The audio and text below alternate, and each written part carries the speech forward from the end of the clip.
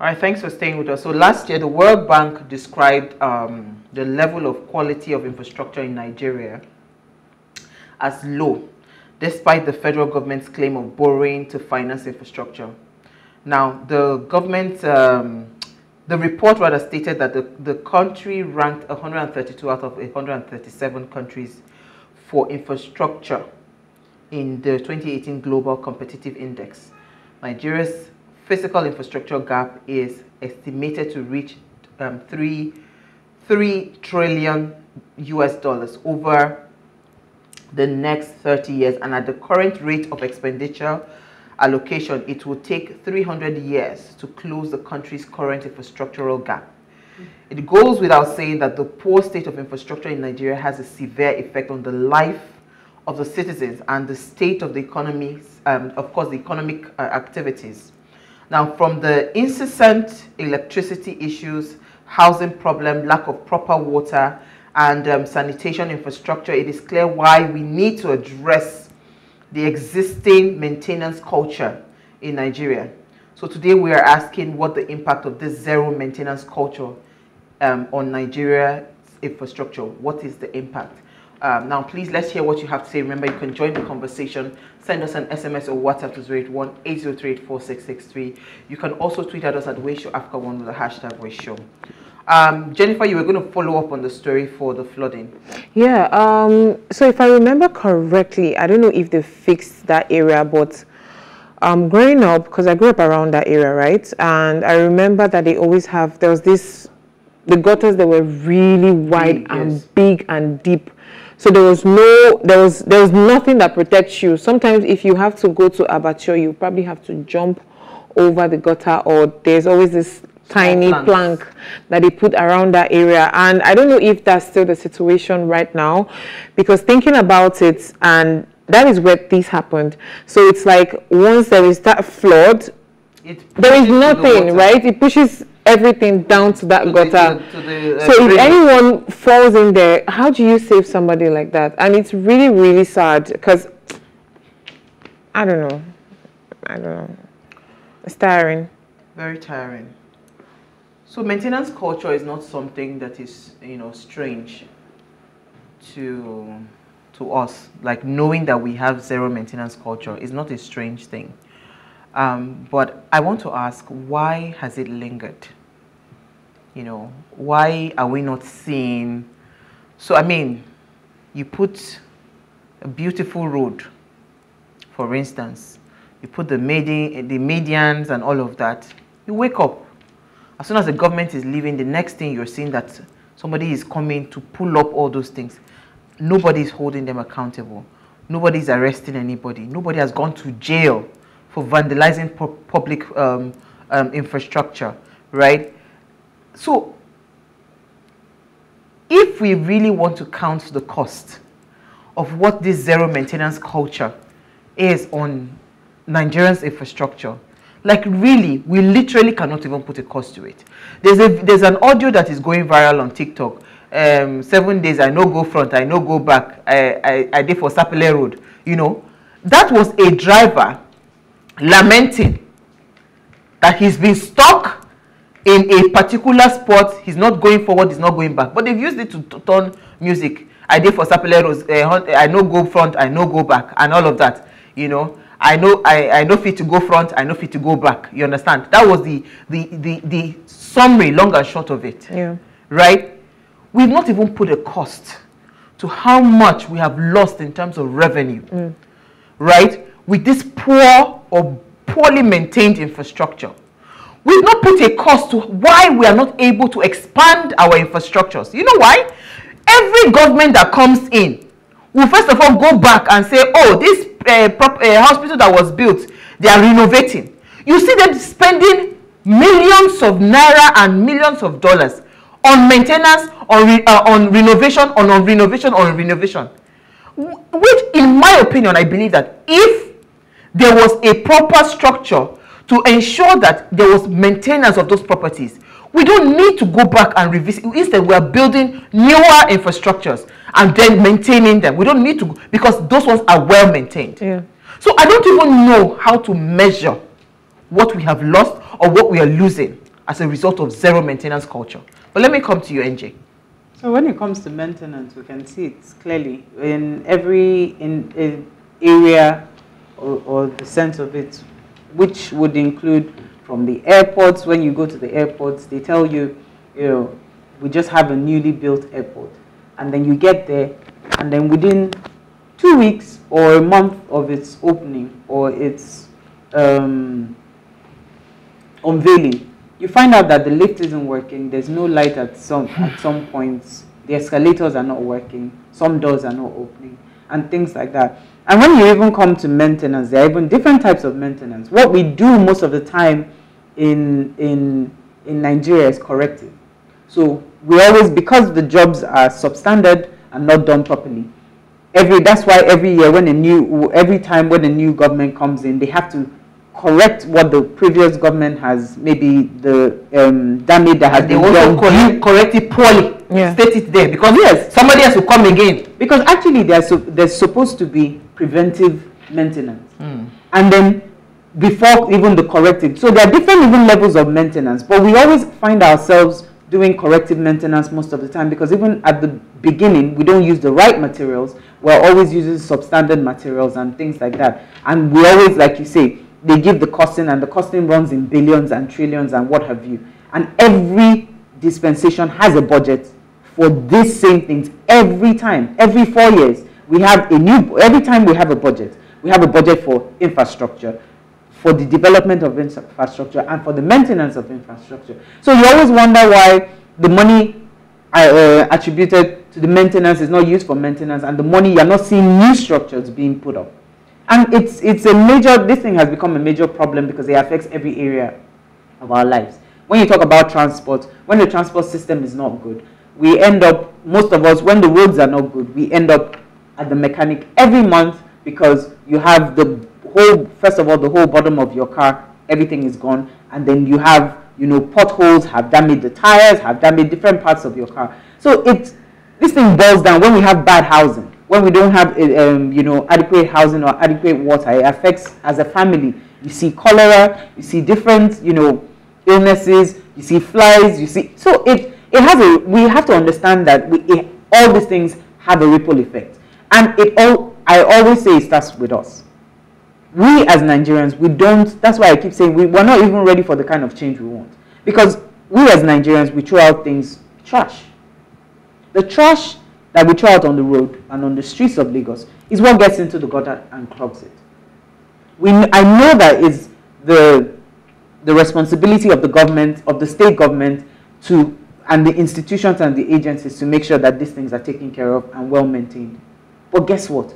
We run a population of 200 million, thereabout, and counting. And if 200 people are littering the whole streets of Lagos, how would the men, how many people would you require in order to maintain Lagos to that standard that we're looking for? Hmm. Jola, let me come to you. I mean, I would always come back to the fact that Nigerians, whether we like to accept it or not, we're just wicked and we're selfish people. It's, it's as simple as that. And um, it starts from the commissioner or the uh, governor or the um, local government chairman or the agency director or Perm Sec who says, okay, you know what? Rather than give the the construction of a road to a company that has been building roads with a track record of you know solid roads and all that you give it to your friend your friend gives it to a shoddy company that is just trying to find their feet or a company that they just knocked together. Nobody is doing any um, quality monitoring and evaluation, control. no quality control, nothing. The most important thing is money comes out of the government coffers. Taxpayers are paying for it. And it's as if, you know what, you get whatever we give to you and keep your mouth shut. Again, because citizens, we do not understand the power that we have. We do not understand the fact that at some level, we can actually sue certain people. And until we understand that, that we can take people to court, we can demand accountability. Nigeria will keep being a free for all. I mean, it's a free fall. Nobody cares. And then guess what? these people, they probably fly jeeps and all that. Okay, maybe a jeep can probably navigate through, you know, when there is flood and all that, or they can fly in their helicopters and all that. Go, go. If you're traveling out of Lagos, it's even worse. Like you will be literally scared to move out of Lagos to go and do anything. Ordinary Ogun State, if it rains from Itoikin to, in fact, Itoikin is almost like halfway between Lagos and Ogun State. Ogun State is supposed to be gateway state. Now you are supposed to expect that a lot of food coming into Lagos come through that road. So it begs the question, if the roads are not accessible, how do we transport food? How do manufacturers, factories, goods and services, how do they come into Lagos? But guess what? I can bet you if the governor of Lagos State is moving from Lagos, um, the governor of Ogun State is moving from Lagos to Ogun State, he'll probably fly an helicopter. He doesn't care. And guess what? We don't hold anybody accountable. So until we get to that point where we, I mean, where we take into cognizance everything that's enough is, is enough, is trying to put out there in terms of literacy and understand our responsibilities and our rights, we won't see any change. It will still be the same. We will keep on being the casualties of this senselessness. That's all I can say. And then, of course, as citizens, we do the most. A newly constructed road, at least I have witnessed that, a newly constructed road you find people selling gala in traffic and all that. They know that if there is free flow of traffic, they can hawk their wares. So they go in the night under the cover of darkness. They dig new roads. Of course, nobody cares. If anybody says anything, they say, please mind your business. We too, we want to. Again, there is no enforcement of law. There is absolutely Nigeria is almost as if Nigeria is just, you know what, just take as much as you can and every other person face front. If you want to talk, you to take your own and let me just be. So it, it, it's a sad place, really. It is. Okay. I know you've raised a very, very valid point around digging of holes. Mm. But I remember that there was a time a governor in this state said street hawking, street hawking was banned, mm. right? Whatever happened to those laws? Because the truth is, if there are no traffics, you will mm. not see people selling in traffic. They will go sure. and find alternate source of income. That's why you see when you travel abroad, there are millions of malls, shopping malls for you to go in, drive in, and even mm. if it is one one pack of a uh, sausage roll you want to buy, you must go pack, buy it, and you, you so do you understand? Like the sanity that people have abroad. I mean, I was in my sister's apartment, like in, in their estate, and I saw where they are bathing dogs, where they bathe their dogs.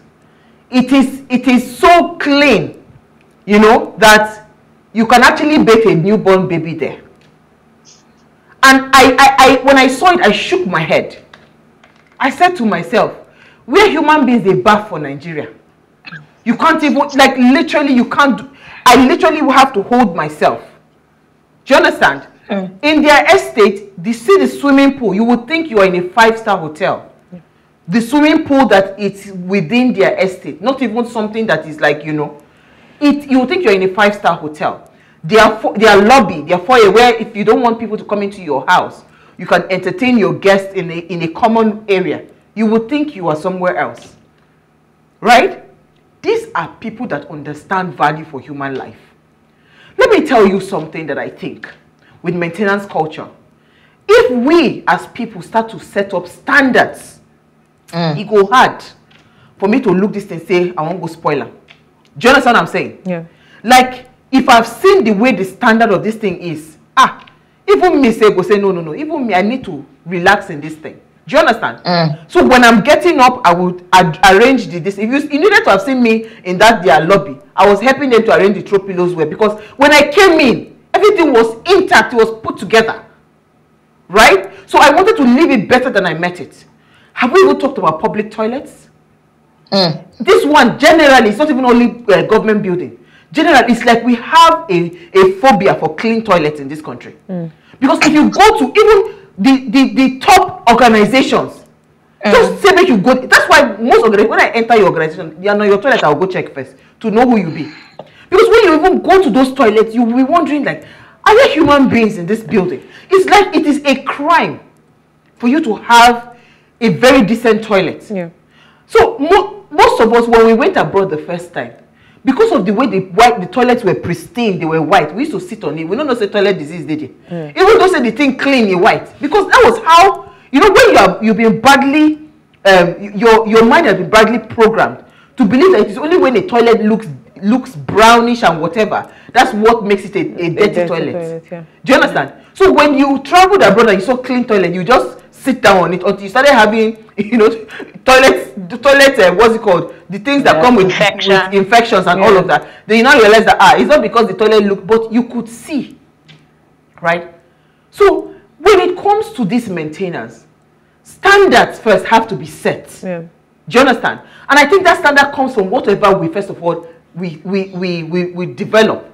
So mm. once we set a standard, do you understand? If they burn you well, go and vandalize it. Or, do you understand? Once you set those standards and people see it, the reason that they can take a, a, a whatever to go and hammer a road and dig up a hole is because the road in itself too is not there's a road if you like put yeah. uh, what's it called I, you need to literally use a, a, a digger or whatever what's the name of that thing to dig out mm -hmm. the hole you need to you need to deploy machineries to come and dig to it out. out yeah. But we don't have all of those. So if we're talking about the cost, every government that you see now, they spend so much money. The other day say they want to renovate National Assembly with billions of naira. I'm wondering, how did we get to that stage? Do you understand? Do you know how much we're losing with all this so-called renovation, renovation, renovation? We would have been using it to, to, to, to create um, what's it called? Newer infrastructures. But let's take a break, right? I want to open the phone lines. Hopefully, we can get a few calls in. Stay with us. We'll be right back.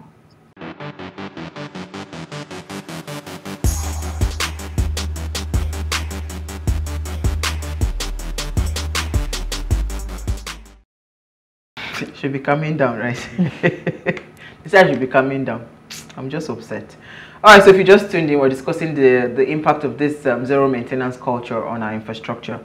Please let's hear what you have to say. Remember, you can join the conversation. Send us an SMS or WhatsApp to 081 803 You can also tweet at us at Wayshow, Africa1 with the hashtag Wayshow. Now, our phone line is now open. You know the rules. Turn off the volume of whatever device it is that you're watching us from. Um, the number to call is 0702500749. That's the number to call. NJ, you were going to come in. Yes, I was going to say that there was a recent story, I think it happened earlier on, I think late yesterday, 3 a.m. in the morning yesterday. You know, a motorist uh, called in to inform the police of a vandal that was um, tearing apart the Ebute-Metta Ero Division uh, bridge, that, you know, towards the end of Ebute-Metta. And he was caught at 3 a.m. in the morning. So these are the issues so just like um, you were saying, Uwa, these are the issues that we keep having. And that's why for me, I keep coming to we as a people. Because it starts with us. If we do not create and you know cultivate the culture of maintaining even within our immediate environment, this is how we go. So they built a bridge. And because you do not own a car, or because you think that you will not be affected, you go and you vandalize the bridge. What of have you ever stopped to think if you if you have a family member on the bridge the day it collapses? Let me take our first caller. Hmm, this way. Or books from Ikorodu, I believe. Or bots from Ikorodu. You're live. Uh, good evening. Good evening. Uh, honestly, uh, I like your mood this evening. I really like your mood. Yeah, good evening. Most of us are in that mood, but we don't, uh, we can't talk out because for, for uh, let let let no, one not be arrested. Your mood this evening is very very understood. You know because what we are going. Oh wow! So sorry. So sorry. Try to call back, my sister if they want arrest make they arrest now. Wetin remain finish? Do you understand? Like i am i'm like tired. I don't know how how to pretend anymore. I don't think like would you watch your child? No on a serious note would you watch your child suffer like that? Would you watch your child die like that? Come on let's start to start to think about other people other than ourselves. It is so it is so wicked and selfish. It's not like these things let me tell you something everything that happens in nigeria right? It's not something that is new to us. Yeah. It's something that has been happening. And we've refused to do something about Loma from Abia, you're live. Good evening, my dear in the house. Good Good evening, evening. lover. I say my mind and say and it is truth that and I'm not accusing anybody. If you want to arrest, arrest. Expand your prison. Expand yourself. I will be ready to go in. Now let me just tell you, zero maintenance culture has made Ikotepeno, Umwa Ikotepeno Road, today in a deplorable state in Abia State. Bende, Ohopia Road, a federal road are in a deplorable state. Ozuakole or Wopia Amotuku Road is in a deplorable state. Now, when you see all these things, you start asking, who are, who are those representing us? Who are those taking, doing, that, that are saddled with the responsibility of this framer on all this? You don't see them doing the whole thing. So it's quite unfortunate that this zero maintenance, I'm telling you, my dear sister, in Abia State now, this railway in Abia State, they have closed the rail line because they were not able to maintain it. They have now removed all the rail line in Abia State. No more rail line. You ask, why is it so? So if this present administration will, as the way they are going, if they will do the needful, let them make sure that main, they, they should have, remove zero maintenance culture and make sure that FEMA do their work and every other agency. Please help me tell the government, let them return back our rail line that they, they removed. We don't have rail line again in Abia State, in Umuahia. Thank Thank you. Thank you very much. Thank you. Thank Loma. you, Loma. You know, eh, I saw I saw a video. I watched a video about um, the dilapidated state of Obudu Cattle Ranch, right? And that place looks like a ghost town. You know, Obudu Ranch was once celebrated. People went there for vacation. People an wanted attraction. to. Yeah, it was an attraction site, right? And it's like people keep saying, "Oh, why do people? Why do Nigerians keep leaving Nigeria to other places?" It's because we have nothing here, right? And the things that we have are not being maintained properly. And the person who made the video um, showed us the, the cable cars. When they made that cable lines and the cars, people were very excited about it. And that was one of the reasons why people wanted to go all the way to Cross River to see it and to experience it. But it is as good as dead. There is nothing there anymore. The entire place was just ghostly. You're even speaking back, this is back, I had an experience because I've been there. I visited, and this was 2000 and, you know, mid 2000s. And even the cable car wasn't working as at then. So I'm not very surprised that it's the way it is. And even like Loma said, this uh, road, hmm. I've You been know the road that we passed. that is that is where I'm hmm. from. Hmm. So I understand his pain They because took, they took me to NJ's village. Since. I was little, my heart was in my mouth. since I was little. In short, over the years, I think some people have, you know, tried to maintain it, but since I was little, It's been like that. going to going back home was Wow. Let me take Ogbonna from Port Harcourt. Ogbonna, you're live. Yeah, good evening. Good evening. evening. Yes, I'm so sorry, so sorry that people have to feel this bad about our roads and other infrastructures are not um, maintained in this country. The truth is, the government officials and their, I don't know how to put it, how do you award a road contract to someone that you do not bother about adding another i don't know how to put it where they can be able to continue to maintain that project or that pro that, that road for another five years or ten years. That can be done because you don't just award contract and they do the road and then everybody gets away both the the people that constructed it and every other person leaves the road. It will go bad. So it should be added in the contract that this road you are going to maintain it for another five years you the contractor that is constructing this road the same thing goes to the buildings. Include there where someone can continue that the the constructors or the contractors whoever they are will continue to maintain such road for another two years or three years or five years. That way that uh, uh, infrastructure will last. Thank you what so you much. said oh what you said it's all abroad. That is what they do they add it to the to the uh, the contract uh, language or whatever they call it where they will continue to maintain that that road or that building Yeah. or whatever it is or the bridge for another five years or ten years Absolutely. and the government is is on is their duty to fund it I, I, I like, that, that, I like, that, that's where it should go Okay, thank you, Bona. I like where you're going with the conversation, and, and I want Diola to come in. But the truth is, again, they, people would argue, and Uti, if you are watching, she's the one that will argue with me that um, Lekki Epe Expressway, that um, because of the toll, right, um, that's why it is the revenue from the toll. And I beg to disagree, right? This road is too small of a road for you to toll it in the way you're tolling it, right? see there is revenue that is being generated from commercial buses from commercial like so for instance now if there are trucks like commercial users of these roads are the ones that are supposed to be taxed not private uh, uh, what's it called uh, car owners so once you are able to uh, properly collect those taxes i suppose what they are having all these touts on the road right you'll be able to have revenue to maintain those roads enough revenue right?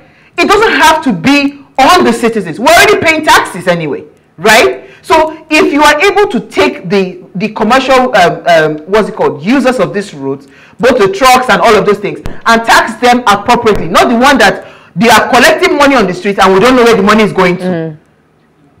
Let me take somebody else. They don't want me to talk again. SA, USA.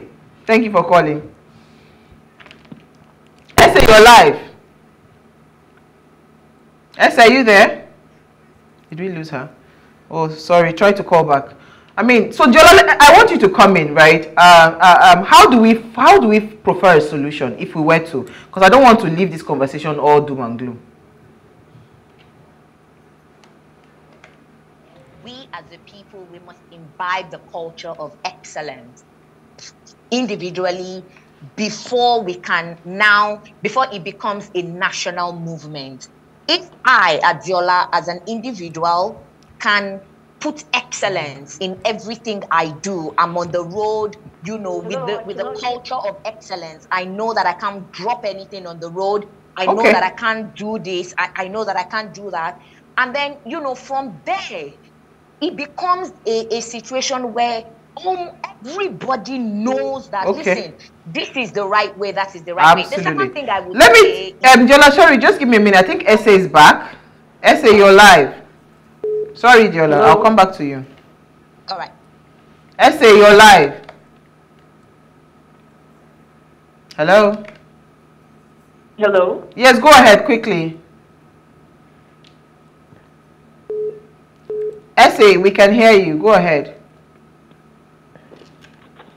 Hello. Go ahead, SA, we can hear you. Oh, I think the network is bad. So sorry, you can try to call back again. Jola, please wrap up your thoughts on that. So the second thing I would say is enforcement. I mean, there must be punishment. It must be a criminal offense. You know, if you don't, if you if you provide substandard work where you are a government contractor, it should be it, you should be penalized. I mean, this is not even a case of pay a fine of you should actually go to jail. You know, from the person who awarded the contract to the departments that didn't ensure that there was proper monitoring and evaluation to the all the contractors they should go to jail and there should be a court that will not be biased that will try that case i mean hmm. when we begin to see examples of that Absolutely. Thank you so much, Jola, for Yeah. that. Let me take Daniel, I believe, from Lekki. You're live. Daniel, go ahead. Uh-oh. We're having problems with the phone lines. Daniel, apologies. I think we're having issues with the line. You know, um, I would say that if we have, if, I like waiting Jola they talk. She she she sweet me for body because you see all these things we dey talk now. It doesn't really concern me. My father has turned down a federal government road job because of the shadiness of the job, asking him to just go and pour sand on the road. Kawasa kasa kawai. You understand? My father says so. Zan wasa kasa kawai. So somebody will drive on that road and die, Yeah. and you now put the blood on my head. I would rather leave the job, right? if those if we begin to even arrest all those contractors that do shabby jobs right we will get it we will get somewhere but you see they cannot arrest them because they collected bribe from them too Yeah. they collected kickbacks let me take daniel or who is back again you're live Yes. go ahead Yeah, good evening. good evening Yes. Uh, well, I'm actually enjoying your uh, discussions with the other ladies, but I think the point should be where exactly are we going with uh, the culture of maintenance in our country? I think it starts from the home. I remember when we used to be younger, back in school, our teachers teach us certain regulations of cleanliness from home, even on the street, by picking up pieces of papers or whatever debts you have on the floor, even in schools. But recently or presently, how many schools do that anymore? How many of them tell young uh, students or pupils from primary schools how to be clean, how to be uh, uh, patriotic to their country? Because it starts from the home. This Thank you, Daniel. Thank you. As you grow, as you grow, that culture then the, comes, uh, it grows with us. Absolutely, I, I agree with you. Let's wrap up this conversation, ladies.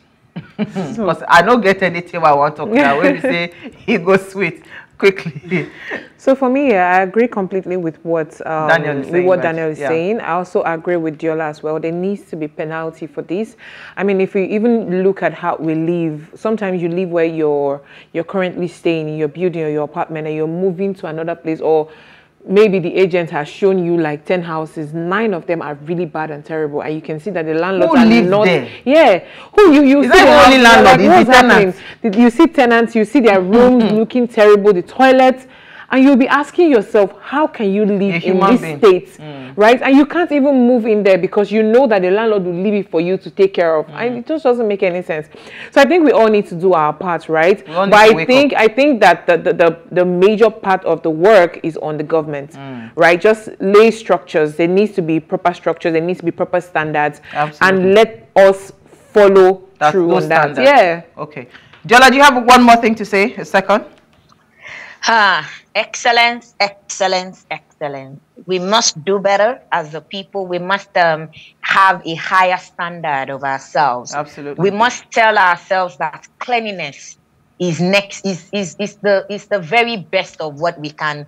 I mean, from cleanliness, it, it speaks to our values as a people. If we don't have values as a people, there's absolutely nothing that can be done. We will just keep thinking that we can just live life anyhow. Nobody would arrest or nobody would. There, there No, are no you're right. repercussions. More like, more like. NJ, Yeah. in two seconds. Yeah, for me, I'll just say we're responsible for our environment, and it is our responsibility to keep ourselves healthy by keeping our environment healthy, and it starts with us. Yeah. So, I don't think I have I have what, what I want to say should come out of my mouth, but let me leave it there. The truth is, um, let's let's first of all set up set a precedent. Let's set a standard, right?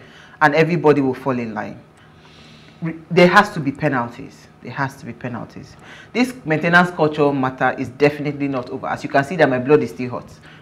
we'll definitely bring it back. But thank you so much for watching, and apologies to those that we couldn't take your messages uh, and calls. You know, the, today the lines were really jammed.